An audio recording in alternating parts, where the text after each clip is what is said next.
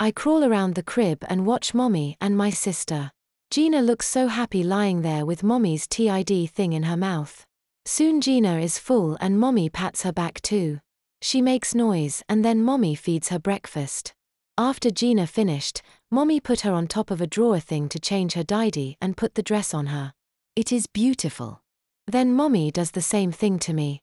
The snaps on my sleeper make funny popping sounds when mommy opens them. I laugh and laugh while mommy takes down my didy. I suck on my toes while she wipes sticky stuff off my behind. Then mommy put the dress on me and picked me up to put on her hip. She gets Gina from the crib and puts on another hip. Then she takes us to her room and stands in front of the mirror to let us see what pretty baby girls we are.